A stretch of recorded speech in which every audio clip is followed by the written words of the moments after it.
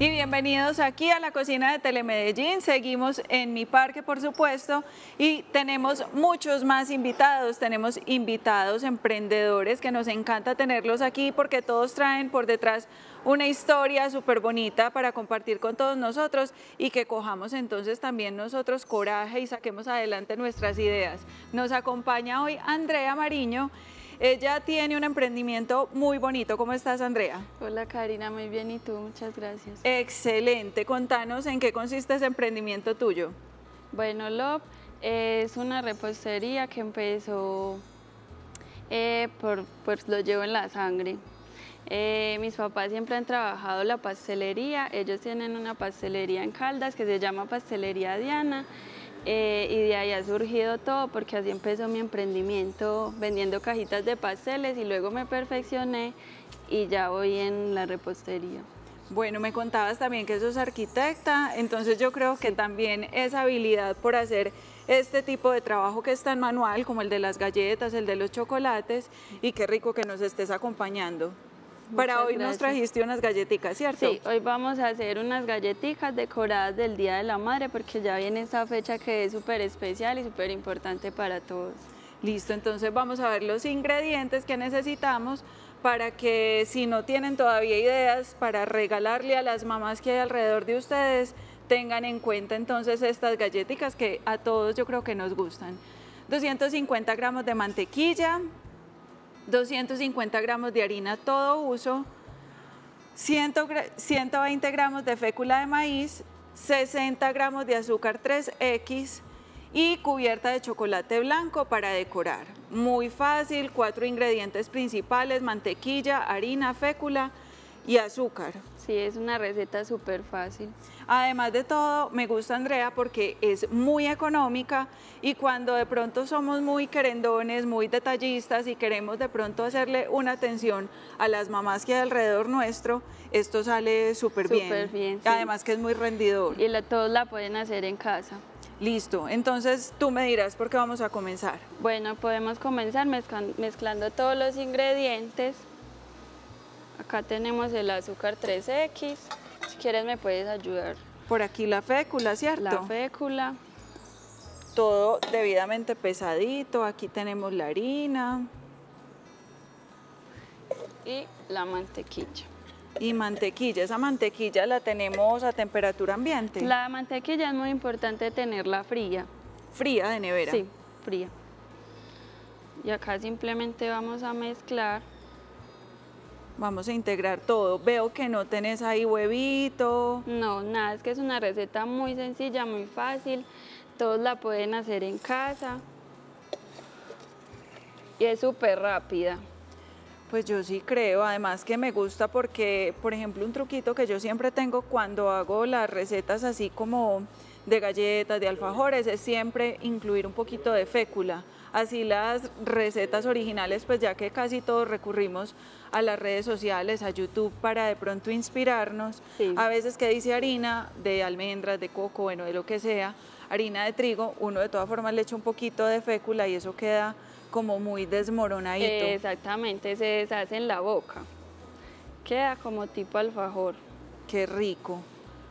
Bueno, y veo que estás como integrando y, no pues como amasando, estirando ni nada. No, simplemente vamos a integrar, a integrar y ya la masita queda listica.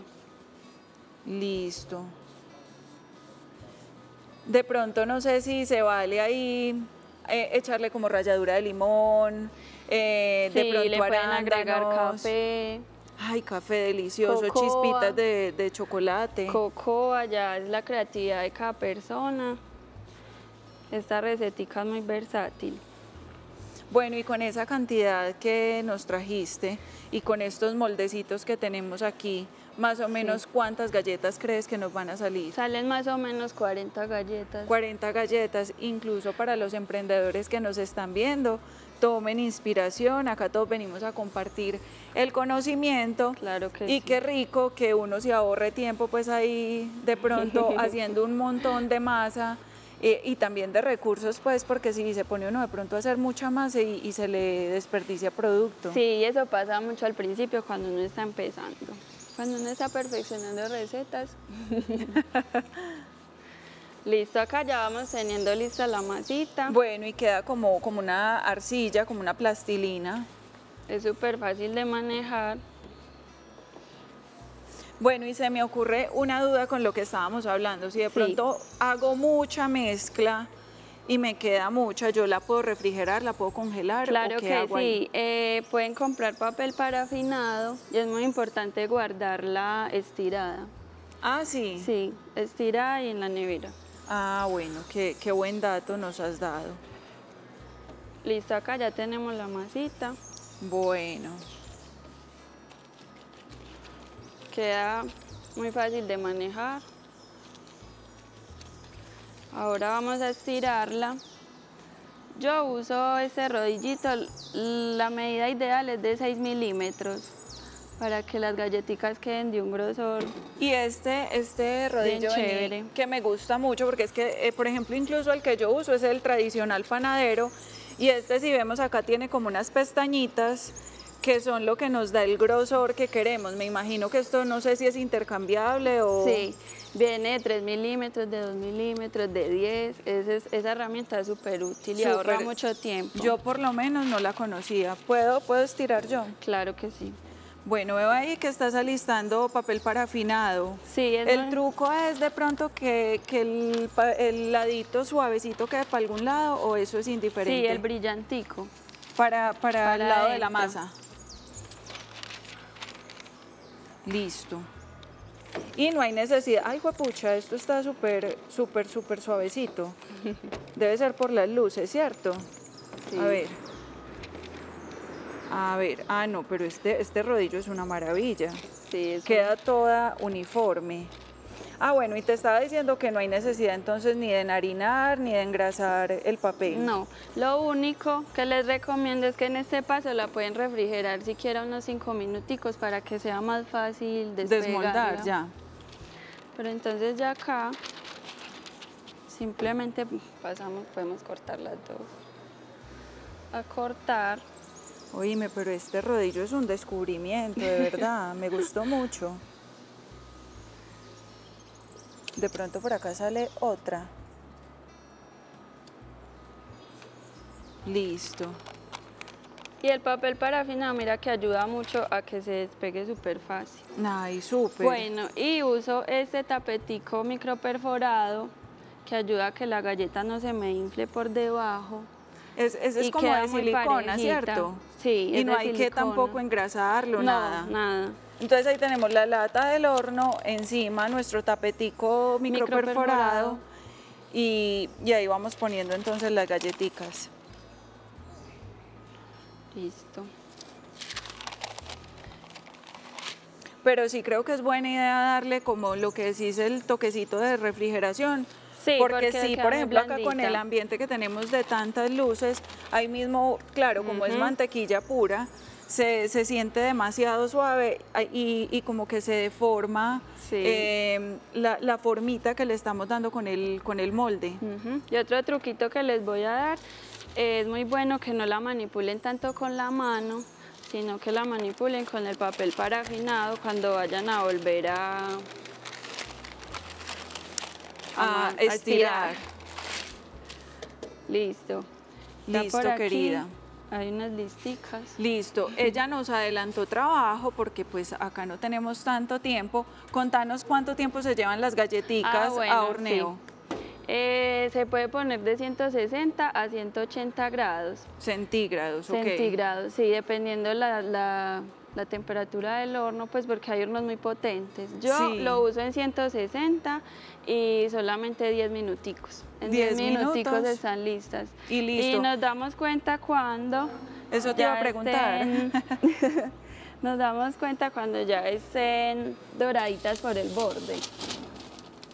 Sí, porque yo creo que inicialmente ya son como muy suavecitas. Con el paso como de la temperatura, que ya se va atemperando, ya es que cogen como la, la crujencia. Sí. Si se dice así, bueno crujencia, aunque estas quedan muy blanditas, estas se deshacen en, la boca. Ya cuando ven este, este bordecito, este bordecito es que ya están listas. Y mira el microperforado lo que hace.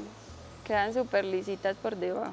Listo, y esta la vamos a decorar entonces para el Día de la Madre. Contanos entonces qué procedimiento vamos a hacer acá. Bueno, eh, venden cobertura de chocolate que también es súper fácil de encontrar y de manipular. Simplemente se lleva al horno de a 30 segundos. ¿Al microondas? Eh, sí, al microondas. 30 eh, segundos y ya el chocolate queda listico. Venden muchísimos moldes y se lleva al congelador. A mí me parece súper importante ese truco que nos estás dando de los 30 segundos porque uno a veces llega y de confiado uno dice, ah, no, esto a los 30 no estuvo, la próxima le voy a poner un minuto y resulta que, se, quema. Se quema. Y el chocolate bien caro para uno estarlo oh, quemando. Si no, tienen horno microondas, al baño María. Ah, bueno, también. Al baño María y ya, Y yo creo que con el baño María hay menos riesgo de, que se queme, pero sí es como uno estar más pendiente, más pendiente sí. Bueno, ya luego de que las tenemos así, ya yo las traje listicas. Ay, miren qué lindas las, las galletitas del Día de la Madre. Esto simplemente es cobertura de chocolate blanco con colorante para chocolate. Los colorantes deben de ser liposolubles. O sea que sean grasositos. Grasositos y ya cada uno la decora como su, a su creatividad. Y veo que tienen como lo que nosotros llamamos escarcha o mirella, esa también es comestible. Comestible, claro que sí. Todo es comestible, el matizante, las grajeas y la mirella. Súper, súper bonito. Andrea, contanos qué más tenés para el Día de la Madre, qué más productos tenés para el resto del año, porque esto está de verdad que muy bonito. Claro que sí. Eh, manejo también tortas, eh, las tradicionales redondas para todo tipo de ocasión. Eh, también manejo en forma de letra y de número, que se llaman letter K y number K. Ahí vamos aprendiendo. sí, todo lo de mesa de dulces, y detalles de chocolates. Listo, recordanos tus redes sociales, ahí todos vamos visitando entonces para que nos vamos antojando y vamos haciendo los pedidos. De pronto, no sé, ahorita dijiste que tus papás empezaron en Caldas, no sé, no sé qué seguís allá.